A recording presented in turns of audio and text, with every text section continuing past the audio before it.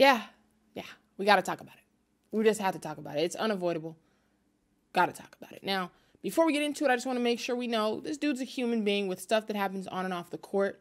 Real human. You never know what he's going through, that he's not sharing with the media and stuff. So hold back the, the, the mean roasts and stuff like that. If it's funny, you know what I mean? It's, it's jokes, but you know, I'm not I'm not gonna sit here and roast and do all the theatrics just because you just never know. Plus, I couldn't do it. I suck. The little he's doing, I can't even do that. So it's like I can't really comment too much, but what I can do is observe certain numbers. I can definitely observe certain, you know, impacts that you have on the game. Certain things are just unavoidable. I've been avoiding it. You know, I could have been said something, but I've been avoiding it, but there's certain things that just happened and transpired last night that is just changing the sphere of and the intensity of what's going on, and it has to be addressed. And I hate to be the one to say it, but I have to say it. I'm handling this delicately. You know, I'm not going to sit here and roast and make fun of somebody, but at the same time, we're definitely going to dive in and see what's going on.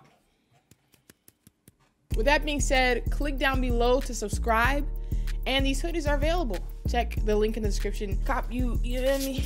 Left the clippers out on purpose. Petty, but you know, yeah. Click the link to go ahead and cop one of these.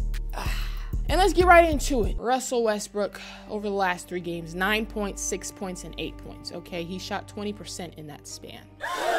That is a stomach churning number. I kind of have a message, not even just to Westbrook, because the team's handling that. I guess he just needs to get into the gym, maybe get Lethal Shooter from Instagram and you know, get you a Dr. Dish machine and just lock yourself in there until you, I don't know what the, the process is. So this is more so to the fans of Westbrook, the, the disciples, because you know what? First of all, this is the worst he's done since about 2010, statistically, right? I believe so. I think he hasn't averaged under 20 points or 20 some odd points since 2010. This is the worst he's done. All right. I'm seeing comments on YouTube under the highlights. I'm, I'm reading. I just want to see what people think. They're saying usually he turns it around during this time. You know, he's usually bad up until this time and he turns it around, which, by the way, imagine being known for that. Imagine being known for being bad for a period of, of time and then turning it around. That's insane. And that's not normal. Let's not normalize that. But usually he turns it around during this time, but he's still bad and it's it's mind blowing and stuff like that. That's crazy. That's not normal. That's not normal. I'm seeing people comment on the fact that usually he's on subpar teams to where he's not getting analyzed like that. Like on the Lakers, everything's gonna show. Everybody's analyzing you. Everybody's looking. LeBron's on the team, so you got LeGM looking, looking and fishing on that market to see who, you know what I mean? Shake it up you know so we're not just some bummy team so it's like when you have a triple double that's not the highlight of our day you know other teams wizards and stuff like that it's like there's not too much else going on. So when you get a triple double triple double even if you're not winning like that or you are winning it's like oh bro he let it. You know what i'm saying? But on our team we got bronny. We got lebron.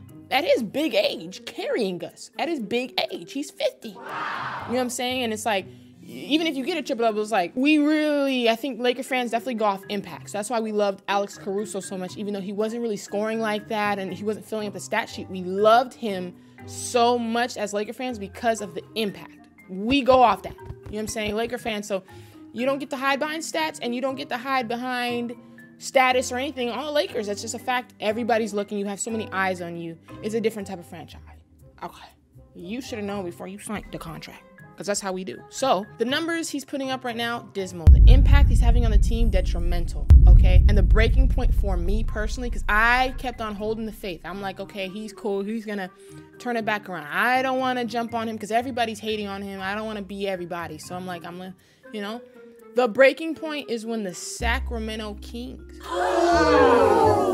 start roasting you after every single shot you take. Every time Westbrook missed a shot, they would play this thing cold as ice and it'd play throughout the stadium. And then they put cold player of the game, coldest player of the game up on the Jumbotron. It was Westbrook. Oh. The Kings. Any any single player who allows that to happen to us from the Kings, now we have to have intervention because that's not okay. As a Laker fan, that's just not how we get down. I can only defend you so much. Then we have to be honest. If the Kings are roasting us, what are we doing wrong here? It's you. They're roasting you, Westbrook. That's the fact. And and then this is the message to the Westbrook uh, disciples because oh, you guys are hating, you guys are turning on him. You're gonna love him when he starts producing. Here's the bottom line, and, and this is what you're gonna hate to hear: is that I don't care if he starts balling out and he he's doing well and killing next week. At the end of the day, you guys need to understand that we did not sign him for 9.6 points, 8 points. We signed him with the expectation that he can do what we know he's capable of doing, right? He's in a slump right now, which is long slump. But not only is he not performing, but he's like literally having a huge hand in us losing games.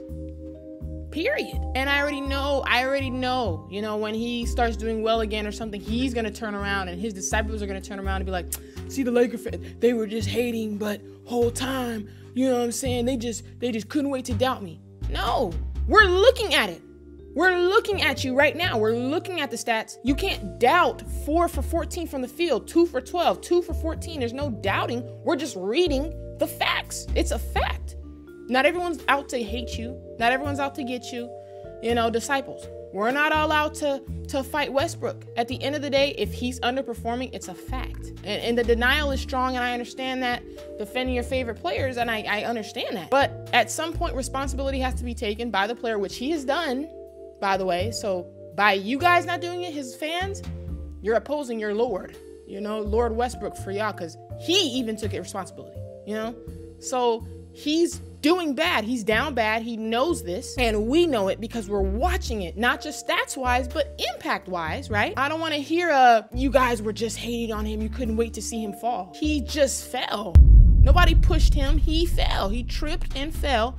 He never had his shoes tied whole time. We're finding out and he fell, that's just on him. Take it to the chin. If he starts performing well next week, I don't want to hear the uh, you doubted him. I told you so. He just needed time. This is not normal, Westbrook fans. For you guys, that's normal.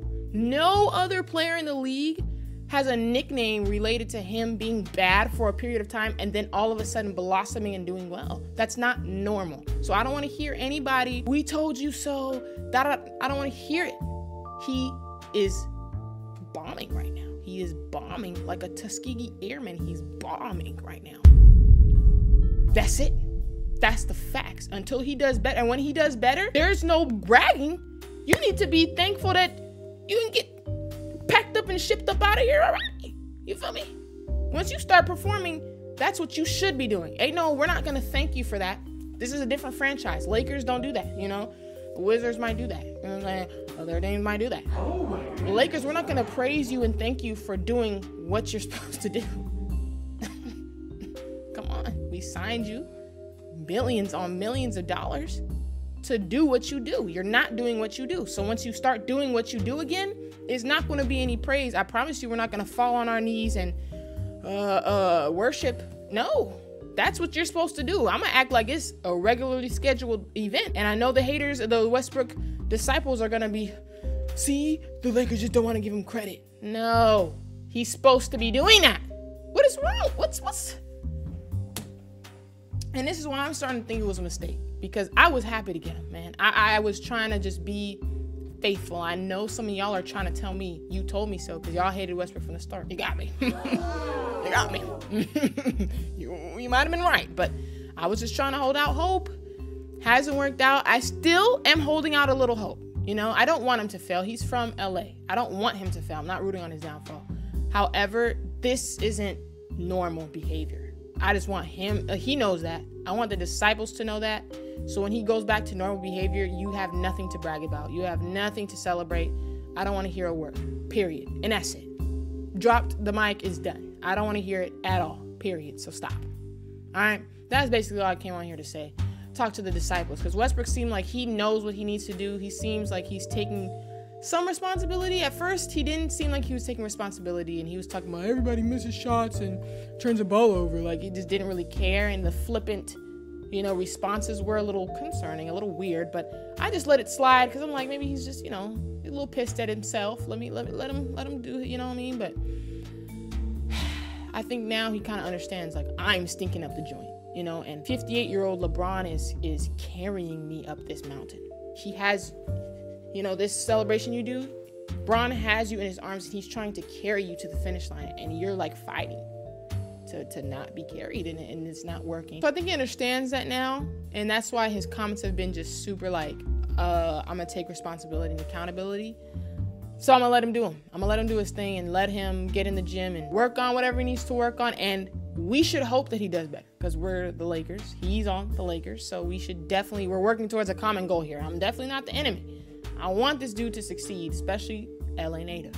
Gotta, gotta root for him. At the same time, it's okay to acknowledge that this is not normal. This is not what should be happening, and we're not in the wrong for expecting more out of this player. That's it like and subscribe. You see how quick that was? You see how easy that was? Comment down below what you guys think. I would love to see it. Follow me on my social medias. All right, I'm literally done, okay? You know, this for sale, like I said at the beginning. So check that out, link in the description, and uh, talk to you later.